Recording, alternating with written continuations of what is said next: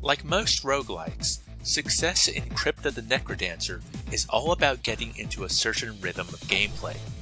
Of course, when talking about this game, that's somewhat of a cheap joke, but it doesn't make it any less real.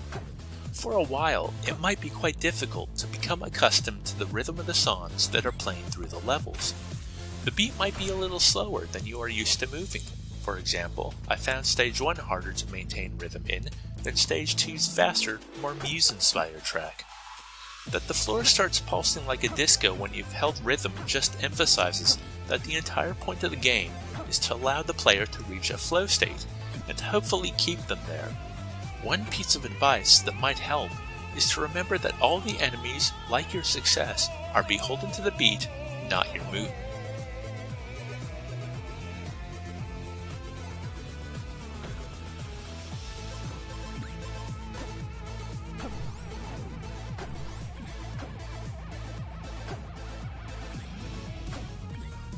Your success depends on what weapons and items you manage to pick up each run, and if you've earned enough diamonds to unlock those that are of the most use.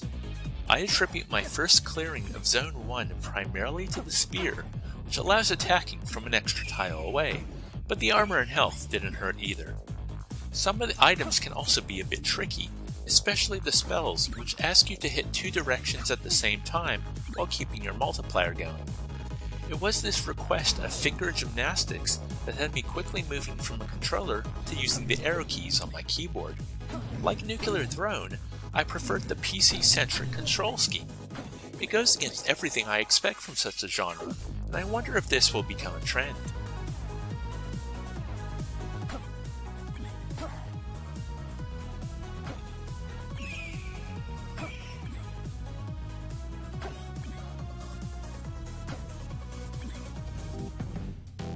Necrodancer suffers from what I'll call the Spelunky problem.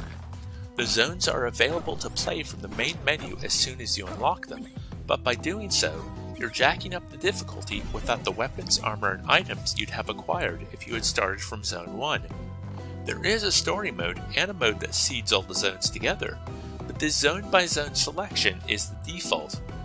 I certainly would have preferred a spear or broadsword in Zone 2, I spent too much time having to make split second decisions against new and nefarious foes, and often failing when I did so.